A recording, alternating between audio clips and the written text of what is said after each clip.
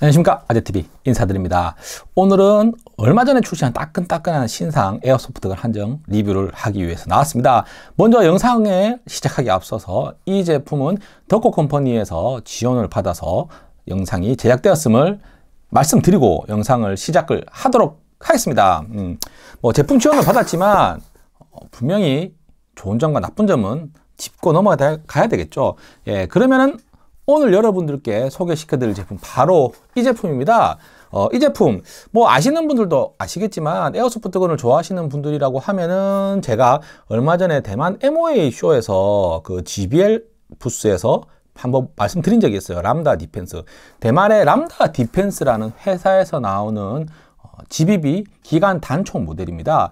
실총 GHM-9 G라는 모델인데 저도 사실 GHM9 다시 G, GBB 어, 이 제품을 대만을 가서 처음 받고 아 이런 제품도 있었구나. 그 전에 뭐 저기 APC9이라든지 이런 기관단총 GBB들이 많이 있죠. MP9이라든지. 근데 요것도 이제 그런 종류의 총이라고 보시면 되고요. 실제 이 제품은 실총 라이센스를 받았습니다. 스위스의 B&T사로부터 어, 풀 라이센스를 받아서 실총과 동일한 각인 프린팅이 다 되어 있는 장점이 있습니다. 그러면은 박스를 개봉하고 여러분들과 제품을 보면서 하나하나 살펴보도록 하겠습니다. 자, 박스를 개봉하면은 첫 번째로 보이는 게 이렇게 어, 유저 매뉴얼, 매뉴얼 같이 이렇게 A4 용지 비닐이 들어 있습니다. 실제로 요 종이를 뜯어 보면은 요 안에는 어, 분해도, 분해도와 여러 가지 이제 부품 parts list들이 들어 있습니다. 한번 보여드릴게요. 어, 실제로 제품에 대한 어, 종이에 대한 전체적인 이미지 그리고 여기는 첫 번째 장 분해도, 두 번째 장에 분해도, 또 세 번째 장에 분해도, 그리고 마지막은 요거는 이제 영문과 한문으로 된 뭐 안전주의사항이죠. 요 종이는 음, 꼭 한번 분해도를 한번 보시는 거 추천을 드려요. 왜냐면은 구매를 하신 분들은 일단 한번 뜯어야 됩니다. 왜냐면은 저기 이너바렐이 조립이 안 돼 있을 겁니다. 그래서 구매를 하신 분들은 이너바렐을 조립을 하기 위해서 한번 뜯어야 되니까 이 분해도를 보시면서 뜯는 방법을 확인하고 어, 조립을 하시면 되겠습니다. 그리고 이 종이 한 장이 들어가 있고 내부에는 이렇게 에어소프트건 한 장과 탄창 하나가 들어있죠. 일단 뭐 제품을 꺼내 보겠습니다. 제품 구성은 되게 심플합니다. 어, 탄창, 글록 탄창 같이 생겨 있는 탄창이 하나 들어가 있습니다. 탄창은 상당히 묵직하네요. 그리고 그것 외에는 뭐 박스나 어, 신품을 구매를 하시면은 이런 비닐봉지 안에 여러 가지 옵션 파츠들이 있는데 이건 저는 이미 다 조립을 한 상태라서 어, 제품을 이제 실제로 보면서 하나하나씩 보면서 여러분들께 이야기를 계속 이어나가도록 할게요. 어, 자, 본품입니다. GHM9-G. 이름이 너무 길죠? 예. 제가 앞서 말씀드렸다시피, 어, 스위스의 BNT사로부터 실총 라이센스를 받았기 때문에, 어, 실총과 동일한 형태를 띠고 있고, 각인 역시 마찬가지로, 어, 그 실총에 있는 각인 그대로를 재현을 했습니다.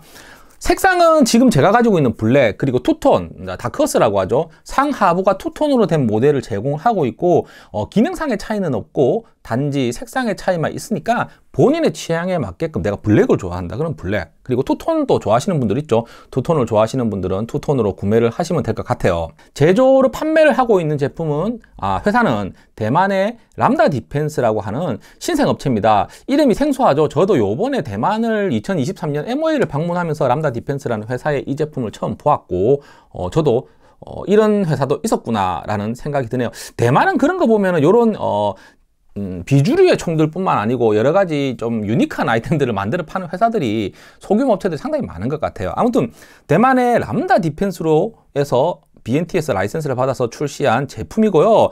전체적으로는 플라스틱, 바디로 되어 있습니다. 강화 플라스틱으로 되어 있고 내부 부품들 중에서 일부분은 뭐 스틸로 제작된 부품도 있다라고는 하지만 대부분 뭐 아연합금이라든지 스틸이 아닌 그냥 일반 메탈 재질로 만들어져 있다라고 보시면 돼요. 자 그리고 out barrel도 플라스틱으로 되어 있습니다. 그 점은 조금 아쉽기는 하지만 out barrel이나 이런 것들은 제가 옵션으로 구매가 할 수 있으니까 뒤에 가서 한 번 더 설명을 드릴게요.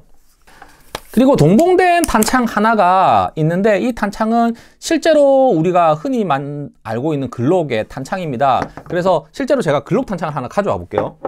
자, 이 제품은 마루이 글록의 탄창입니다. 그리고 요거는 GHM9의 탄창이고요. 동일한 탄창 형태를 띠고 있습니다. 다만 마루이 글록, 어, 우리가 알고 있는 마루이라든지 여러 가지 글록의 회사 탄창보다는 조금 더 긴 롱탄창은 아니고요. 조금 더 한 미드 탄창 정도 되는 사이즈를 가지고 있어요. 탄창은 총 35발 장전이 가능하고 실제로 가스 같은 경우는 제조사에서 권장하는 거는 12kg 이상의 가스를 권장을 한다라고 합니다. 실제로 제가 테스트를 했을 때 12kg, 14kg, 뭐 16kg 정도까지 테스트를 해봤는데 뭐 점점 점점 어, 세짐으로써 반동은 증가하겠지만 제가 생각을 했을 때 적절한 거는 14kg 퍼프디노 화이트 가스가 어, 쓰니까 조금 더 반동이라든지 어, recoil 반응이라든지 이런 것들이 좀 좋았던 것 같습니다. 탄창 같은 경우는 마루이 탄창이라든지 VFC, KJ Works, WE 이렇게 글록 탄창들이 다 호환이 된다라고 해요 제조사에서. 실제로 제가 사격장에서 테스트를 해봤을 때 호환은 됩니다. 뭐 이렇게 탄창의 개체 차이가 있겠지만 어, 이렇게 대부분 다 마운트가 되고요. 뭐뭐 뭐 저기 뭐지 어, 글록류의 조금 뭐 가드사 탄창이라든지 아니면 프로인에서 나오는 탄창들은 이 장전을 할 때 장착을 할 때 좀 빡빡한 느낌이 있었습니다. 그리고 프로인이나 가드사에서 나오는 옵션 탄창들은 어, 장착은 가능한데 격발이 안 됐어요. 이 뭐 단차가 좀 문제가 있는 것 같습니다. 그런 차이들 그리고 어, 마루이 탄창이랑 어, VFC 탄창은 격발할 때 조금 트러블이 좀 있었어요. 격발이 안 되는 건 아닌데 어, 트러블이 있었고 제가 완벽하게 작동을 했던 탄창은 WE 탄창이 유일하게 완벽하게 정상적으로 작동을 했던 것 같아요.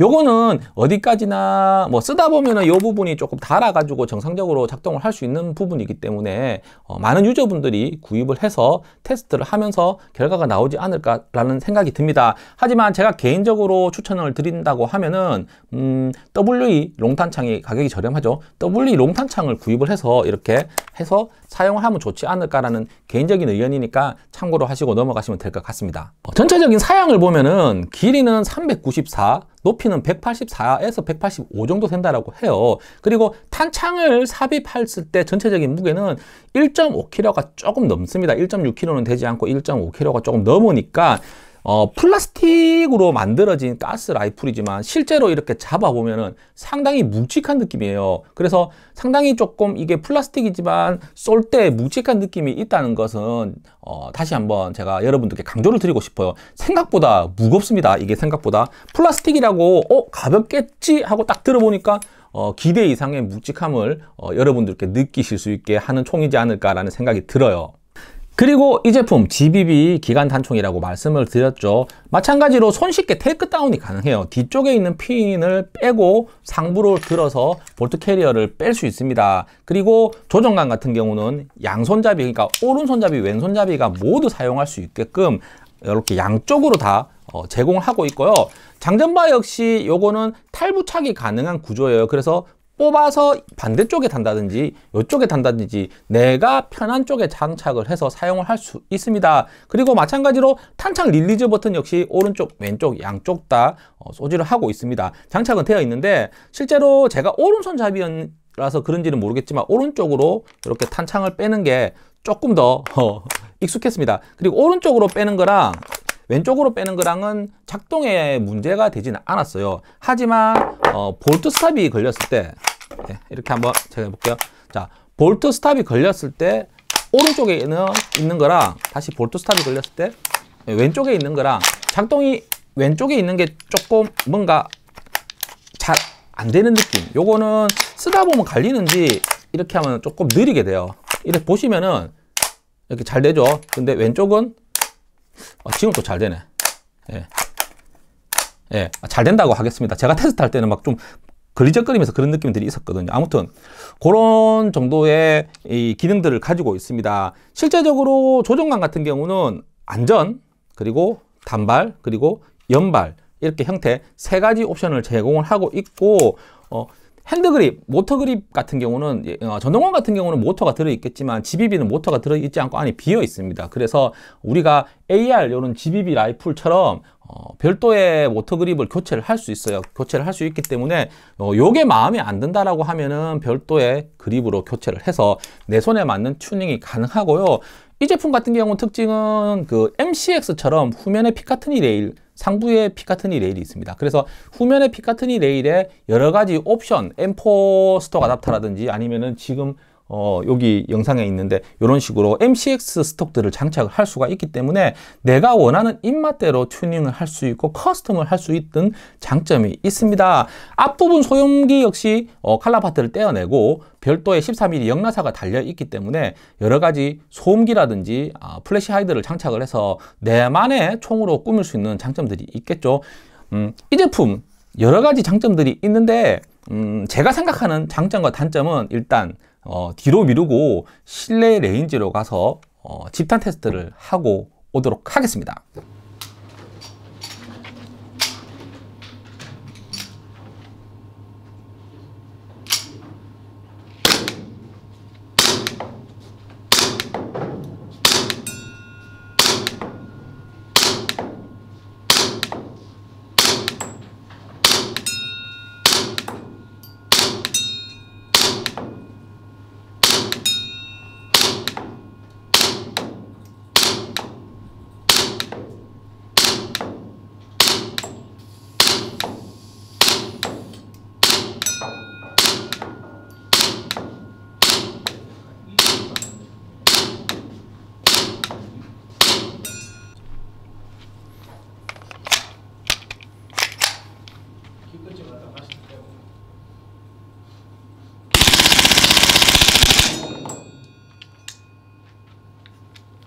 와.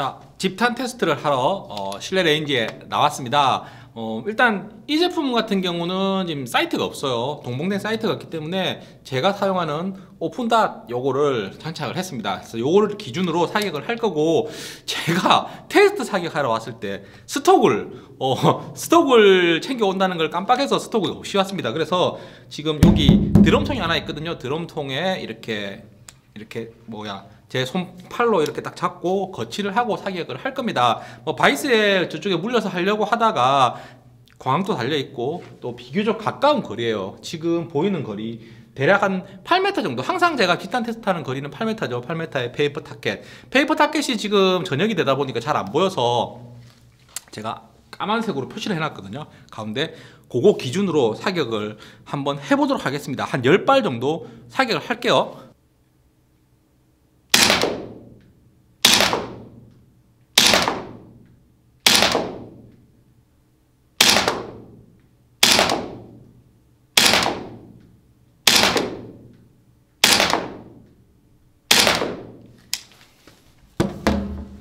자, 10발 정도 사격을 했습니다. 한번 가서 보도록 할게요.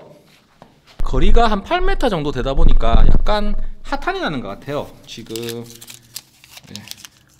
지금 타켓에 보이시죠? 요 정도 집탄 8m 생각보다 잘 모이죠?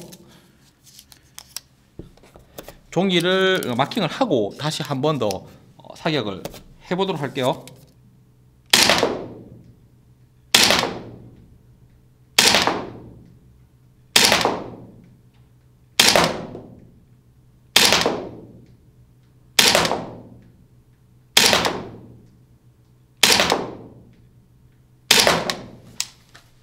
예, 10발 사격을 했습니다. 다시 가서 한번 보도록 할게요. 잘 맞은 것 같은데 한번 봐야 되겠죠? 네, 잘 맞았네요. 지금 제가 붙여놓은 여기 비슷하게 나오는 것 같아요. 대략적으로 한 요 정도 거리 센치로 치면은 한 3cm 정도 안에 다 모입니다. 8m 정도 거리에서는. 자, 실내 사육장에서 집단 테스트를 해봤고 지금 8m 정도 되는 거리에서 사격을 했어요. 한 3cm 정도 되는 에임에 다 모입니다. 하지만 여기서 여러분들께 꼭 알려드려야 될 부분이 순정 상태에서는 이 정도 집탄이 안 나와요. 제가 테스트를 해봤는데 집탄이 안 나왔습니다. 좀 많이 퍼졌어요. 왜냐? 제가 어, 챔버 흔들림 그리고 아웃발의 흔들림이 좀 심해요. 그래서 어, 조립을 하실 때 한번 새 제품을 받게 되면 무조건 열어가지고 아웃바렐, 아웃바렐에 테이블 감고 조립을 한 번 더 해주시고 챔버에 어, 썸네일에 지금 보이는 이 사진처럼 챔버에 테이블 좀 붙이세요. 붙여서 조립을 하면은 단단하게 조립이 됩니다. 요거는 뭐 옵션 제품들을 장착을 해서 교체가 가능하다라고는 하지만 어, 순정 상태에서 쓰시려면은 무조건 이렇게 테이핑을 해서 chamber 흔들림 무조건 잡아줘야 된다라고 생각을 하시면 될 것 같아요. 돈이 드는 거 아니니까 이 정도 튜닝을 하게 되면은 테이프 몇 장만으로도 이 정도 집탄을 낼 수 있다는 것. 생각보다 inner barrel이 짧음에도 불구하고 좋은 집탄이 나온 것 같습니다. 그러면 다시 실내로 들어가서 영상을 마무리하도록 하겠습니다. 자, 집탄 테스트를 마치고 왔습니다. 어, 집탄 테스트 재밌게 보셨습니까? 뭐 제가 들고 쏜 것도 있었지만 어, 생각보다 집탄이 괜찮죠. 8m, 10m 안 되는 거리에서 어, 한 요 정도 되는 집탄, 집탄 테스트를 했고 어, 순정 상태에서는 집탄이 일단 좀 안 좋게 나옵니다. 그래서 어, 집탄 테스트 영상을 보고 와서 제가 스튜디오에서 마지막 마무리를 얘기를 할 때 어, 말씀을 드리려고 그 부분까지는 제가 얘기를 안 했습니다. 일단 어, 제가 이렇게 사용을 하기 위해서 어, 세팅을 한번 받쳐, 바꿔 봤습니다. 하, 뒤쪽에 스톡은 제가 이제 제 그, 저기, MCX 스타일의 AR에 달려있던 이런 스톡입니다. 아, 스톡입니다. 이 스톡은, 어, 여기서, 어떻게, 이거 어떻게 했더라. 요렇게, 음, 접이식 스톡, 어, 접이식 스톡을 달았습니다. 이런 식으로 스톡을 될 수 있게끔 접이식 스톡을 달았고, 어, 제가 얼마 전에 리뷰했던 수완푸디어의 HD511A라는, 어, 조준경을 달았습니다. 조준경을 달았고, 앞쪽에는 GSMC에서 나오는 어, 소염, 소음기죠, 소음기. 둥근 칼라 파트를 대용으로 쓸 수 있는 이 소음기. 상당히 괜찮아요. 요거는 길이 조절도 가능합니다. 예전에 나왔던 모델인데, 어, 길이 조절도 가능하기 때문에 이까지 길게도 뺄 수도 있고요. 또 짧게도 뺄 수도 있고, 또 이 안에, 어, 트레이서까지 장착이 가능한 구조예요. 요거는 제가 정말 잘 애용하거든요, 게임에서. 그래서 요런 그 SMG나 조금 단축형 기관 단총에 쓰기에는 상당히 이쁘죠. 그런 식으로 하고 어, 앞쪽에다가 이제 수직 그립을 달려고 했는데 저는 수직 그립을 잡는 것보다는 어, 요렇게 요런 식으로 요런 식으로 잡는 거를 좀 선호해서 어, 요런 식으로 잡기 위해서 수직 그립은 달지는 않았습니다. 그래서 요렇게 이제 심플한 디자인, 요렇게 심플한 디자인으로 어, 세팅을 했다라고 보시면 될 것 같아요. 한번 쭉 보십시오. 예. 어, 그러면은 이 총의 장점과 단점을 이야기하고 영상을 마무리해야 되겠죠. 자, 먼저 장점에 대해서 말씀을 드려보겠습니다. 일단 첫 번째 장점은 바로 여러 가지 어, 옵션들이 많이 나옵니다. 제가 대만 MOA 영상에서 보신 분들은 아시겠지만 람다 디펜스에서 지금 이 제품 본품은 플라스틱 body지만 full steel 형태로 나오는 옵션 그리고 하부 프레임이 지금 여기 보이는 이런 글록 탄창 어, 글록 탄창으로 호환이 되게끔 되어 있지만 향후에 MP9 탄창도 사용을 할 수 있게끔 출시가 예정이라고 합니다. 예. 그래서 제 경우에는 이렇게 MP9도 한 자루 있어요. 이건 TP9인데 뭐 형태만 다를 뿐이지 MP9과 동일한 탄창을 쓰기 때문에 그래서 지금 제가 같은 경우는 여기에 쓰는 드럼 탄창 그리고 어, 일반 탄창도 한 6개 정도 있어요. 이게 MP9이 은근히 탄창값보다, 아, 총값보다 탄창값이 훨씬 비싸거든요. 그래서, 어, 요 탄창도 사용을 할 수 있게끔 옵션이 나온다라고 하니까, 향후에 이제 그 옵션을 구매를 해서 MP9 탄창을 써서 게임용으로도 좀 사용을 할까 생각을, 주, 생각을 가지고 있어요. 그렇듯이 어, 대만에서 제가 눈으로 직접 보고 왔는 이 제품의 여러 가지 옵션 튜닝용 parts들을 제공하고 있다는 거 그리고 그게 비용이 생각보다 그렇게 비싸진 않았어 이 제품의 지금 이 전체 요 상하부 리시버를 어, steel 형태로 바꾸기 위해서는 약 한 대만 현지가 기준이에요. 제가 그때 행사장에서 사지는 않았는데 한 20만 원 전에서 선에서 판매를 하고 있으니까 그런 옵션들을 장착할 수 있는 거 그리고 글록이 아닌 MP9 탄창을 장착할 수 있는 옵션들이 곧 출시가 예정이니까 이런 여러 가지 어, 옵션들이 나온다는 장점들이 있습니다. 그리고 두 번째가 실제 가격이에요. 이 가격은 사람에 따라서 다르겠지만 실제로 국내 출시가가 30만 원 후반대요. 38만 원, 39만 원 사이 정도에 판매를 하고 있습니다. 도고 컴퍼니에서 판매를 하고 있는데 음 어, 저렴한 가격이죠. GBB 단축형 기관 단총 가스 라이플 중에서는 뭐 그렇게 싸다고 말씀드리지는 않지만 그렇다고 비싼 가격도 아니에요. 적당한 금액대에 출시를 한 것 같고 또 여러 가지 그 우리가 흔히 얘기하는 AAP01 handgun 있죠. 그런 스타일처럼 여러 가지 지금은 이렇게 어, 짧은 SMG 라이플이지만 어, 긴 그 앞쪽에 front handguard를 장착을 해가지고 어, DMR도 만들 수가 있고 짧은 총도 만들 수가 있고 중간 형태로도 만들 수가 있는 어, 사용자 입맛에 맞게끔 어, 하는 단점 장점들이 엄청 많다고 생각을 합니다. 그리고 이제 세 번째 제가 생각하는 장점, 실총 라이센스를 받았기 때문에 이 각인들이 다 실총과 동일한 각인들을 가지고 있습니다. 그래서 실제로 이런 고증들이라든지 이런 것들을 조금 선호하는 유저들이 있잖아요. 그런 유저들한테도 어, 인정을 받을 수 있는 그런 디테일을 가지고 있는 것 같아요. 어, 장점이 이 정도인데 분명히 단점도 존재를 합니다. 일단 단점에 대해서 몇 가지 말씀을 드리면은 일단 음, 순정 상태에서 부품 간의 이 맞물리는 부분, 특히 chamber, out barrel, 어, inner barrel 부분에 이 부분의 chamber 이 안에 있는 부품들의 이 조합이 좀 조악합니다. 그래서 어, 지금 이 thumbnail을 띄워드릴게요. 챔버의 테이핑 작업, out barrel의 테이핑 작업, 그리고 나사를 좀 꽉 조아 주셔야 돼요. 절대 이런 작업 없이 제가 집탄 테스트에서 했던 그런 집탄은 안 나옵니다. 아웃바렐과 챔버, 이너바렐이 정말 많이 흔들려요. 기본 상태에서. 그래서 조립을 한, 어차피 이너바렐 장착을 하기 위해서 조립을 해야 되기 때문에 한 번은 꼭 이렇게 테이핑 작업을 거쳐서 집탄 상승 효과를 보셔야 됩니다. 이거는 필수지기 때문에 순정 상태에서 그대로 쏜다라고 생각은 하시지 않으셨으면 좋겠어요. 그리고 어, 두 번째 제가 생각하는 단점은 바로 이 탄창입니다. 이 순정 탄창이 보면은 안쪽에 이 비비탄을 넣게 되면은 이게 우리가 보통 비비탄을 넣게 되면은 정렬이 좀 잘 돼야 돼요. 근데 얘는 좌우 정렬이야 뭐 탄이 한 발 덜 나간다든지 뭐 그렇게 하겠지만 얘는 어 이렇게 눕혀놓고 보면 비비탄이 아래 위로 둥둥 떠가 있습니다. 그래서 어 비비탄 급탄이 안 됩니다. 이 로딩이 안 되고 중간에 걸려 있는 경우들이 종종 생겨요. 어, 쓰다 보면은 좀 달아서 그렇겠지만 아무래도 그런 부분들 제가 테스트할 때 몇 종종 발생을 했습니다. 이제 그래서 탄창이 좀 조악하다. 그래서 어, 이 순정 탄창을 쓰기보다는 어, 최소한 WE의 long 탄창 정도 구매를 해서 이렇게 사용을 하면 좋지 않을까 추가적인 또 비용이 들겠죠. 예, 그런 점.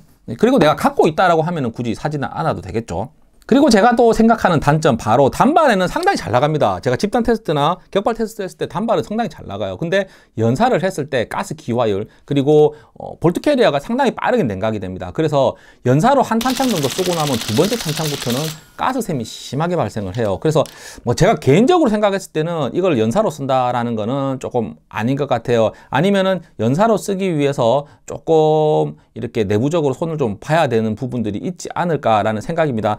탄창의 기화율도 좀 조절을 한다든지 요런 안에 이제 어 뭐 한번 싹 정비를 해가지고 뭐 조금 튜닝 parts가 나온다라고 하면은 이 부하 밸브라든지 이런 튜닝 parts가 나오면 좋겠지만 나오지 않을 것 같은데 아무튼 그런 조금 불안한 감은 있지만 어쨌든 간에 어, 연사를 사격했을 때 단발만큼 그런 임팩트 있는 느낌은 없었습니다. 그리고 기화율 때문에 이 가스가 양쪽으로 많이 새는 증상들이 있었어요. 그래서 저 같은 경우는 이제 이렇게 하니까 그나마 가스가 이쪽으로 많이 새죠. 이쪽으로 많이 새니까 그나마 좀 나았는데 왼손 쓰시는 분들은 탄창을 이렇게 잡고 이렇게 사격을 했을 때 이렇게 잡다가 잘못하면 이게 가스가 확 터지 나오는 게 이 손에 닿아가지고 어, 좋은 화상을 입을 수 있으니까 정말 주시, 조의하셔야 돼요.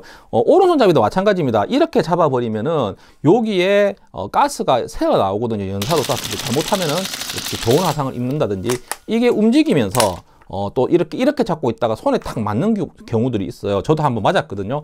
그런 것들 좀 주의를 하셔야 되지 않을까라는 뭐 개인적인 생각입니다.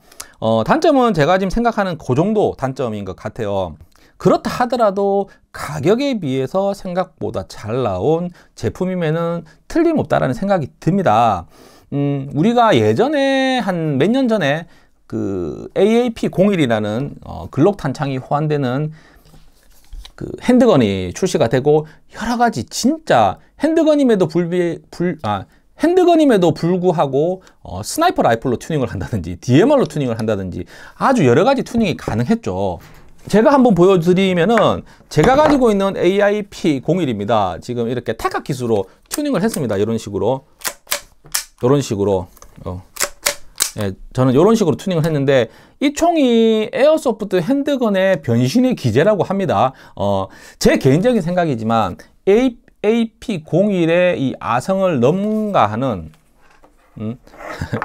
가스 기관 단총이 되지 않을까라는 개인적인 생각을 어, 여러분들께 말씀을 드리면서 영상을 마무리하도록 하겠습니다. 마지막으로 다시 한번 이 제품을 어, 리뷰를 촬영할 수 있게끔 지원해 주신 덕코 컴퍼니에 감사 인사를 드리면서 어, 다음 이 시간에 또 다른 재밌는 영상으로 돌아오도록 하겠습니다. 올해 게임용 라이플은 이 제품을 가지고 사용해 볼 생각입니다.